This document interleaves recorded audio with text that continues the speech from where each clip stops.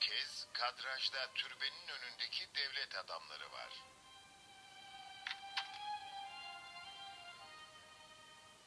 Sultan Vahdettin törenin sonunda divan yolu üzerinden Topkapı Sarayı'na geçecek.